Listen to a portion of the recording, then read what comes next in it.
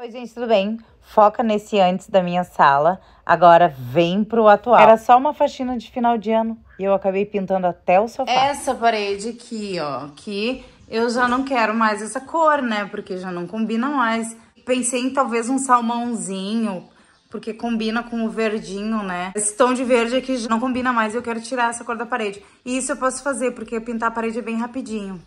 E eu tenho tinta, vou fazer uma mistura de tinta que eu tenho ali para chegar numa cor que combine com o verde do meu sofá. Agora toda a decoração tem que combinar com o sofá. Tenho essas duas cores, que é o que eu pintei lá a sala da minha mãe, sabe? Quando eu fiz aquele, aquele desenho lá, aquele círculo lá e o quadrado na sala da minha mãe. É tinta de alvenaria essa daqui. Ela é base água e brilhante. Então, eu, eu não gosto de nenhuma das duas cores. Pra colocar aqui, eu acho que não... Nossa, olha o meu espelho como tá sujo. Pra colocar aqui nessa parede, eu acho que não combina. Laranja, talvez, mas eu acho muito forte o laranja. Não, não, não gosto. Aí eu pensei em misturar um pouco do laranja nesse aqui e fazer um salmãozinho. Acho que o salmãozinho vai ficar melhor do que esse laranja muito forte aqui. Então eu vou fazer essa mistura de salmãozinho e essa parede vai ser salmãozinha. É isso.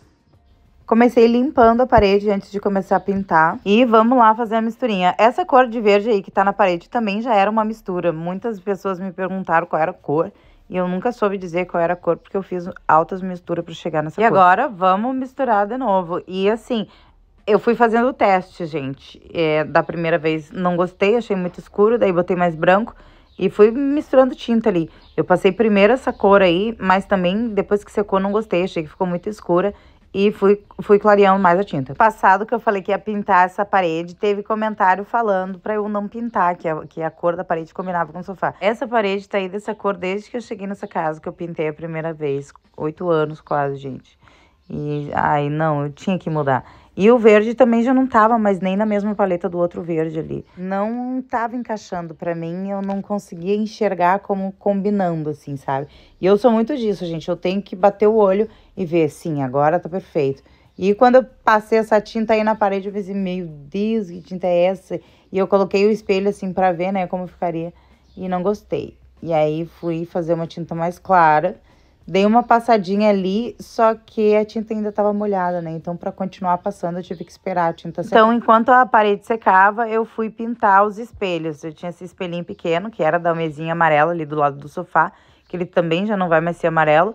E esse espelho aí, que é o que vai ficar nessa parede, pintei, reforcei, né, a tinta.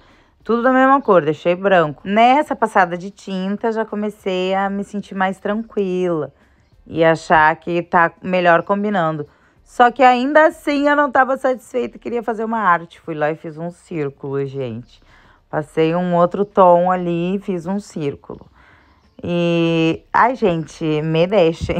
Depois de ter pintado o sofá, qualquer coisa que eu fizer aqui é bem basicão, né? A, a maior loucura foi pintar o sofá e já que deu certo o sofá, qualquer coisa que eu fizer aqui em casa, eu acredito que vai dar certo. Fiz ali direitinho o meu círculo. Só que, gente, foi secando a tinta e eu não. Também não fui gostando da cor. Né? O círculo eu curti o desenho, só não tava gostando da cor. Aí seguimos, pausa para secar a tinta e vou pro outro lado ali, porque tem que lavar o outro lado também. Meu irmão ajudou a tirar o vidro da mesa, super pesadão, eu sozinha não conseguiria. E aí, bora lá, dar-lhe vassourada na parede. Só que desse lado, gente, eu lavei com balde. Eu não vim de mangueira aqui pra, né, a, a mangueirada foi mais lá do outro lado, agora só enxaguando com balde, mesmo assim jogando água, né? Não, não faz diferença entre mangueira e balde. Na verdade, com copinho ali, fui jogando os copinhos de água. Para não fazer tanta molhaceira, gente. Do outro lado já foi muita coisa com a mangueira. E aí é mais econômico fazer com o copinho assim. A de que dá é de fazer isso toda semana na casa, né? Pegar cada dia que abrir o sol, que nem minha mãe, e lavar a casa inteira. Agora eu entendo o gosto que minha mãe tem por lavar a casa inteira. Só que não dá, né, gente? A casa de madeira, ela não suporta, né, tanta água assim, principalmente interna. Por fora, bate a água, ela só bate e seca, né? Por dentro é mais complicadinho, não dá para ficar molhando assim direto. E eu, ao invés de jogar a água toda lá pra cozinha, eu fui juntando com um paninho ali, gente. Eu não queria fazer toda essa molhaceira lá pra cozinha. Também por isso eu não usei a mangueira. Do outro lado eu usei a mangueira porque eu consegui varrer toda a água direto, né? Puxar com o rodo lá pra varanda da frente.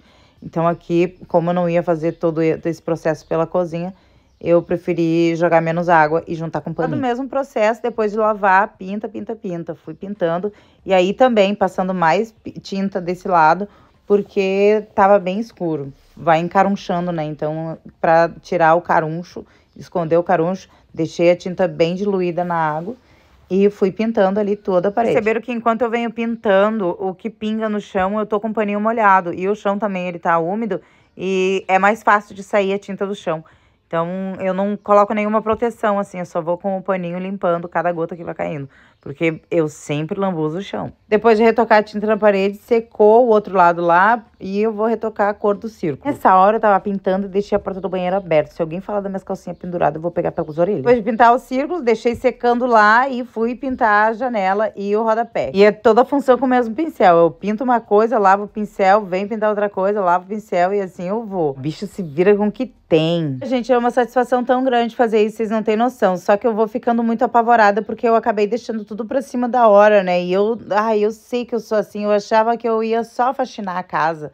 E olha o que eu fiz, pintei meu sofá, tô pintando as paredes, pintando o rodapé, até o estofado das cadeiras eu vou pintar, gente. Ai, pelo amor de Deus.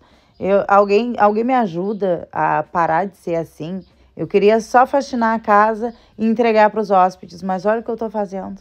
Olha o que eu tô fazendo, eu não aguentei, gente, não aguentei. Sobrou uma tinta ali, eu acabei passando no, no estofado das cadeiras. Só pra dar a primeira mão. E no outro dia eu vim com outra tinta, que é uma tinta que a gente tinha passado lá na cozinha do Dilcinho, que já era resto do assoalho da minha mãe. Então eu resolvi que, ai, vou passar no estofado das minhas cadeiras. Ai, gente, é a louca, né? Gente, vou filmar de pertinho pra vocês verem o tipo do tecido. Ele é canelado, assim. Eu já passei ontem uma mão, tá bem seco, tá meio durinho. E aqui já começa a ficar áspero.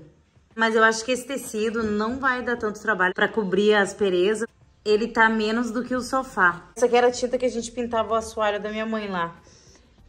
Também é tinta de madeira e base água. Eu vou passar uma mão aqui pra vocês verem como fica. E pintada, ela fica assim, ela vai absorver um pouco, mas vai ser mais fácil que o sofá.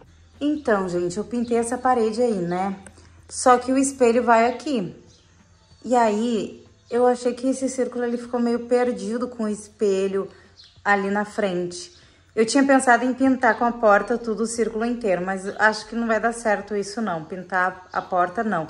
Só que fazer um meio círculo nesse lado assim, ó, no cantinho, da mesma cor. Só que eu não tenho mais essa cor, então eu vou ter que mudar essa cor de cima para poder fazer a parte de baixo. É isso. O círculo, ele se esconde atrás do espelho, tá vendo? Aparece só esse pedacinho aqui e aquele canto lá quase nem. Então, se eu fizer aqui mais um pedacinho de círculo, talvez, né, a gente não sabe. Pra retocar o círculo, eu usei a mesma tinta do estofado das cadeiras. Gente, eu tenho uma coisa com a tinta que é, eu bato o olho e a tinta ela me causa sentimentos. E quando eu vi esse beijinho aí, eu acertei. Para mim, eu acertei. Vocês podem não gostar, pode falar o que quiser, mas para mim tá perfeita a combinação com o meu sofá. E é essa cor que tinha que ser, porque para mim ficou maravilhoso. Ai, gente, eu fiz a pintura, achei que tava filmando e acabou que não filmou. Então ficou assim, tem que dar a segunda mão depois. Eu gostei. Acho que vai ficar mais harmonioso com o espelho, porque espelho esconde uma parte desse círculo de cima, e aí tendo de baixo eu acho que vai dar uma, uma quebrada, assim. Eu queria fugir, assim, do coloridinho, porque eu, eu sempre fui muito do coloridinho. É, todo o espaço na minha casa tem um pouco de coloridinho, e eu queria fugir um pouco disso. Eu quero ficar um pouco mais séria, sabe? 38 anos na cara e só gosta de cores coloridas. Minha cor preferida é rosa. Minha adolescente interior é vivíssima, vive plenamente. E mesmo assim, né, eu acho que eu não consegui fugir do coloridinho porque o meu sofá ficou verde. Então eu quis tirar esse roxo das cadeiras para poder deixar a coisa mais séria, né? E eu acho que acho que ficou do jeito que eu pensava. Ficou do jeito que eu queria. Eu acho que tá tá tá, tá mais moderninho. E tá tudo combinando, assim, eu acho que tá harmonioso. Aí, com certeza, pro ano que vem, vou reformar os quartos, né? Vou mudar as cores das paredes dos quartos, porque já também não combina mais com a sala. Então, gente, olha só como ficou as cadeiras pintadas. Eu passei duas mãos de tinta e aqui eu acredito que já tá bom, mas eu vou passar mais um pouco porque nesses cantinhos ainda ficou meio áspero. Essa aqui eu tinha esquecido de pintar e ficou pra trás, então eu pintei todas antes e depois eu vi que essa cadeira tinha ficado pra trás. Aqui eu dei só uma mão de tinta, só tinta pura, gente, não dilui com água. E aqui eu dei duas mãos. Aqui eu já dei duas mãos. Olha como ele vai mudando a textura já. E eu ainda vou dar uma última mão.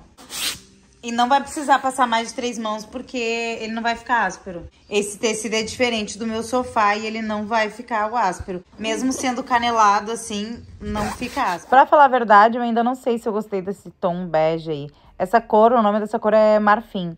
Eu não sei se eu gostei nas cadeiras, mas enfim, vai ficar assim por enquanto, que eu não posso mais ter trabalho não posso mais ficar na função de ficar pintando e repintando. Mas quem sabe pro ano que vem eu penso em mudar essa cor. E agora eu apresento para vocês a minha sala nova.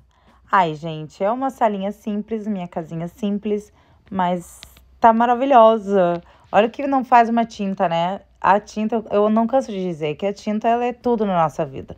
A tinta tu faz com criatividade, tu faz o que tu quiser. Só com tinta, olha o que deu para fazer na sala. Mudei a cor do sofá, ainda mudei o tipo de tecido do sofá, deixei ele impermeável, mudei a cor da parede, mudei a cor do estofado das cadeiras. Tinta é vida, gente. Tinta é vida. Usem e abusem das Eu tintas. acho que ainda falta alguma coisa nessa minha sala. Queria colocar uma luminária do lado do sofá, no canto do sofá. Talvez uma luminária pendente na, nessa mesa aí. Almofadas no sofá também. Eu coloquei umas almofadas de pelo ali só para poder finalizar esse vídeo. O tapete no chão também não vou manter. Eu não vou deixar nem tapete nem almofada para os hóspedes. Era isso, gente. O vídeo tá chegando no final. Espero que vocês tenham gostado. Curte, comenta e compartilha. Se tu não é inscrito, te inscreve.